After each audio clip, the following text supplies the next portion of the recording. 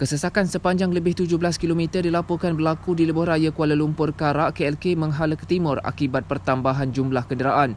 Jurucakap Anih Berhad memaklumkan setakat jam 12.04 minit tengah hari kesesakan masih berterusan di Jalan Lingkaran Tengah 2 MMR2 sehingga ke Plaza Tul Gombak.